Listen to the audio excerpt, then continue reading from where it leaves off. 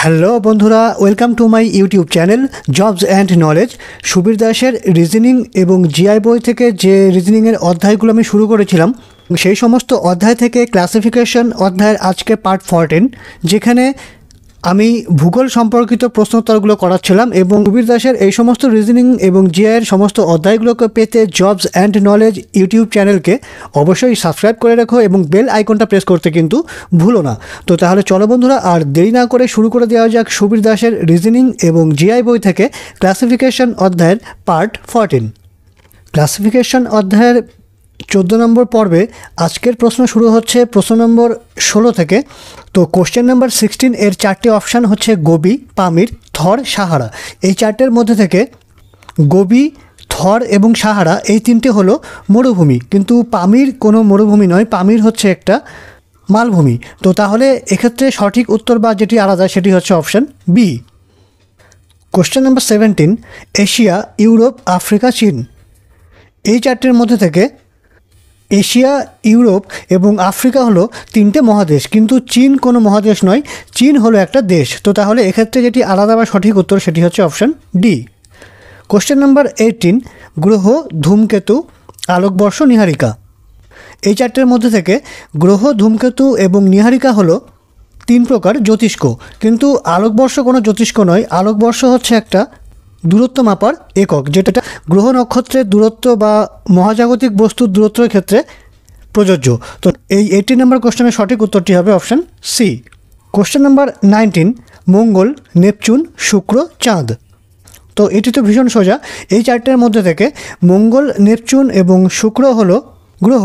একমাত্র চাঁদ হলো উপগ্রহ বা স্যাটেলাইট। তো এক্ষেত্রে সঠিক উত্তর হচ্ছে option D question number twenty মঙ্গল, বৃহস্পতি, প্লুটো, শনি। এই চারটের মধ্যে থেকে মঙ্গল, বৃহস্পতি এবং শনি হলো তিনটে গ্রহ। কিন্তু বর্তমানে প্লুটোকে কোনো গ্রহ বলা হয় না। প্লুটো হলো একটা বামন গ্রহ। তো এক্ষেত্রে যেটি আলাদা বা সঠিক উত্তর, সেটি হচ্ছে option C. Question number twenty one Titan Titania INSAT Triton এই চারটের মধ্যে থেকে টাইটান টাইটানিয়া ও ট্রাইটন হলো যথাক্রমে শনি ইউরেনাস ও নেপচুন গ্রহের উপগ্রহ। কিন্তু একমাত্র অপশান সি ইনস্যাট হলো একটা কৃত্রিম উপগ্রহ। তো তাহলে এক্ষেত্রে যেটি সঠিক উত্তর বা আলাদা, সেটি হচ্ছে option C. Question number twenty two Sputnik one Titan Aryabhata, INSAT. এই চারটের মধ্যে থেকে স্পুটনিক ওয়ান আর্যভট্ট এবং ইনস্যাট হচ্ছে কৃত্রিম উপগ্রহ। কিন্তু টাইটান হলো শনির উপগ্রহ। এটা কোনো কৃত্রিম উপগ্রহ নয়। তো তাহলে এক্ষেত্রে সঠিক উত্তরটি হবে option B question number twenty three সূর্য, মঙ্গল, পৃথিবী, বৃহস্পতি। এই চারটের মধ্যে থেকে মঙ্গল, পৃথিবী এবং বৃহস্পতি হচ্ছে তিনটে গ্রহ এবং সূর্য হচ্ছে একমাত্র নক্ষত্র। তাহলে এক্ষেত্রে সঠিক উত্তর যেটি হবে সেটি হচ্ছে option A Surya. Question number twenty four Everest, রিমভিক, Kanchenjunga, Annapurna. এই চারটের মধ্যে থেকে এভারেস্ট, কাঞ্চনজঙ্ঘা এবং অন্নপূর্ণা হচ্ছে হিমালয়ের বিভিন্ন শৃঙ্গ। কিন্তু রিমভিক কোনো শৃঙ্গ নয়, এটি হচ্ছে একটা স্থান বা জায়গার নাম। তো তাহলে এক্ষেত্রে সঠিক উত্তর বা আলাদা হচ্ছে option B. Question number twenty five, Everest, Kanchenjunga K two Annapurna. এই চারটের মধ্যে থেকে কাঞ্চনজঙ্ঘা কে টু এবং অন্নপূর্ণা, এই শৃঙ্গ তিনটি হচ্ছে ভারতে অবস্থিত। কিন্তু এভারেস্ট ভারতে অবস্থিত নয়, এটি নেপালে অবস্থিত। তো তাহলে এক্ষেত্রে সঠিক উত্তর বা আলাদা হচ্ছে option A question number twenty six Ganga Ravi Chandrabhaga Vitasta. এই চারটির মধ্যে থেকে রাভি, চন্দ্রভাগা এবং বিতস্তা হলো পাঞ্জাবের ওপর দিয়ে প্রবাহিত। কিন্তু গঙ্গা নদী পাঞ্জাবের ওপর দিয়ে প্রবাহিত নয়। তো তাহলে এক্ষেত্রে সঠিক উত্তর হচ্ছে option A Ganga. Question number twenty seven Bengaluru, Nagpur, Bhopal, Ranchi. এই চারটের মধ্যে থেকে বেঙ্গালুরু, ভোপাল এবং রাঁচি হল রাজধানী শহর। কিন্তু নাগপুর কোনো রাজধানী শহর নয়। তো তাহলে এক্ষেত্রে আলাদা বা সঠিক উত্তর হচ্ছে option B. Question number twenty eight Nairobi, Cairo Cape Town Damascus. এই চারটের মধ্যে থেকে নাইরোবি, কায়রো এবং কেপটাউন হলো আফ্রিকার তিনটি বিভিন্ন শহর। কিন্তু দামাস্কাস হলো এশিয়ার একটি শহর। তো তাহলে এক্ষেত্রে আলাদা বা সঠিক উত্তর হচ্ছে option D.